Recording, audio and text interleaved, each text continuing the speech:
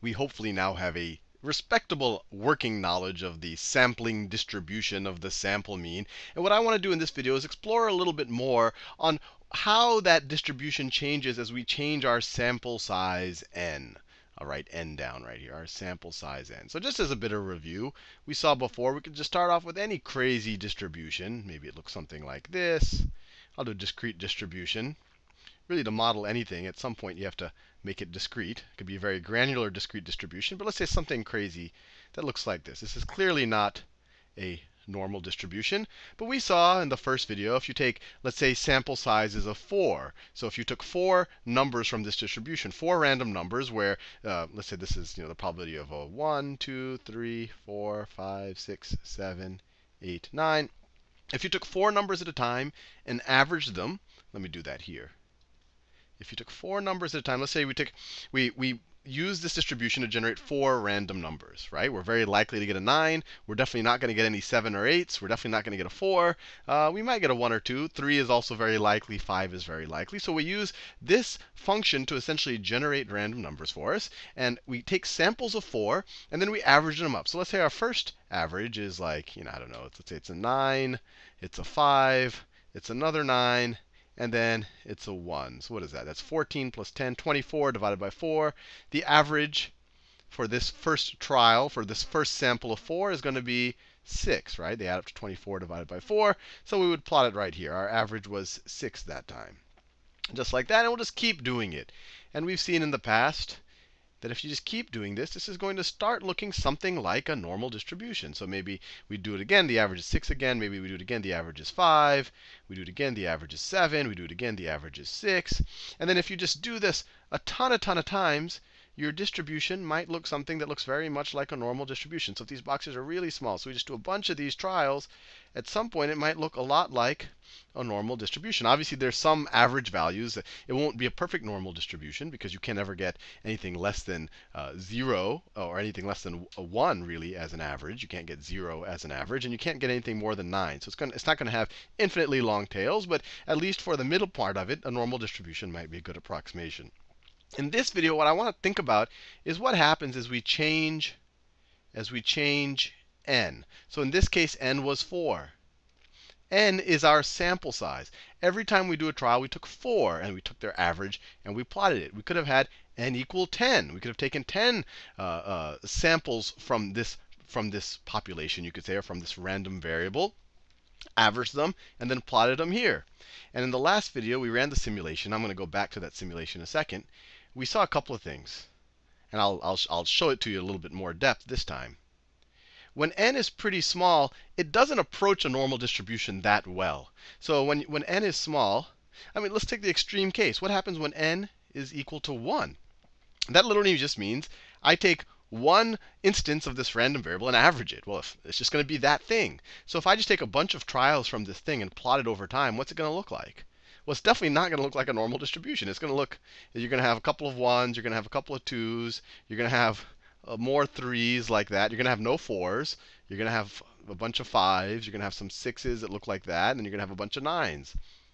So there, your sampling distribution of the sample mean for an n of 1 is going to look, I don't care how many trials you do, it's not going to look like a normal distribution. So the central limit theorem, although I said, you know, you do a bunch of trials that look like a normal distribution, definitely doesn't work for n equal 1. As n gets larger, though, it starts to make sense that, let's say, if, n, if we got n equals 2, and I'm all just doing this in my head. I don't know what the actual distributions would look like.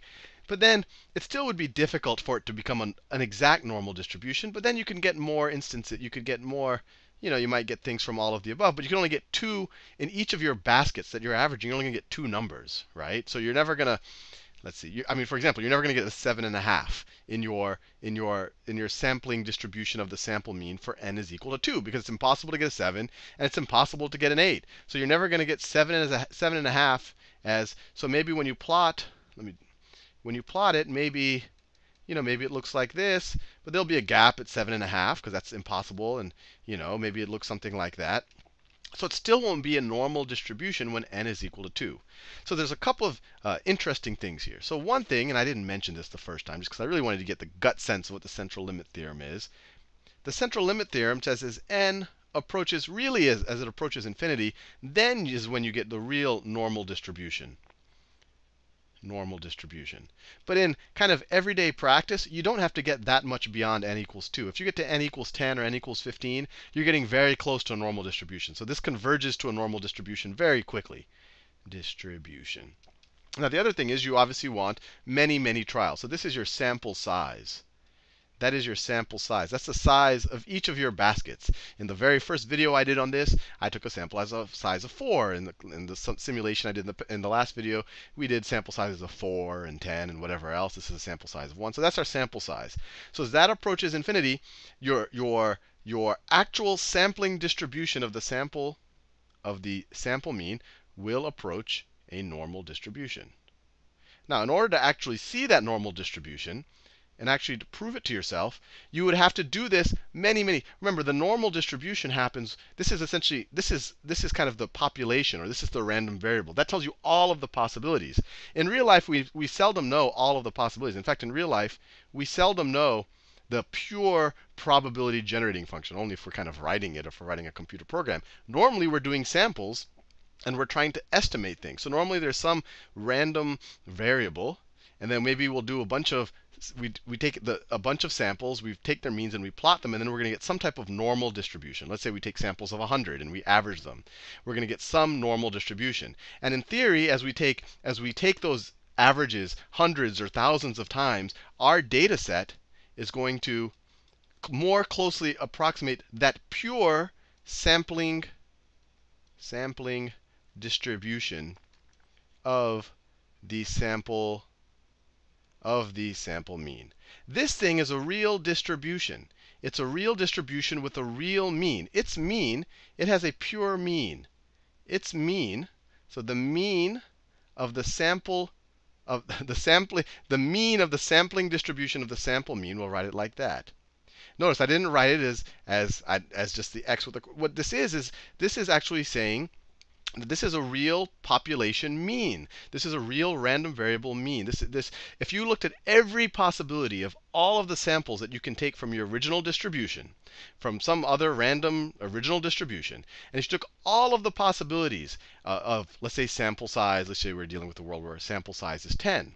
If you took all of the combinations of 10 samples from some original distribution and you averaged them out, this would be this would describe that function. Of course, in reality, if you don't know the original uh, distribution, you can't take an infinite samples from it, so you don't know you won't know every combination. But if you did if you did it with uh, you know if you did it with uh, a thousand, if you did the trial a thousand times, so a thousand times you took 10 samples from some distribution and took a thousand averages and then plotted them, you're going to get pretty close you're going to get pretty close. Now, the next thing I want to touch on is what happens as n. We know as n approaches infinity, it becomes more of a normal distribution. But you know, as I said already, n equals 10 is pretty good, and n equals 20 is even better. But we saw something in the last video that at least I find pretty interesting. Let's say, you know, we start with this crazy distribution up here. It really doesn't matter what distribution we're starting with. We saw in the simulation that when n is equal, let's say n is equal to 5, our graph after we try, you know, we take samples of 5, average them, and we do it 10,000 times, our graph looks something like this. It's kind of wide like that. And then when we did n is equal to 10, n is equal to 10, our graph looked a little bit, it was actually a little bit squeezed in like that a little bit more.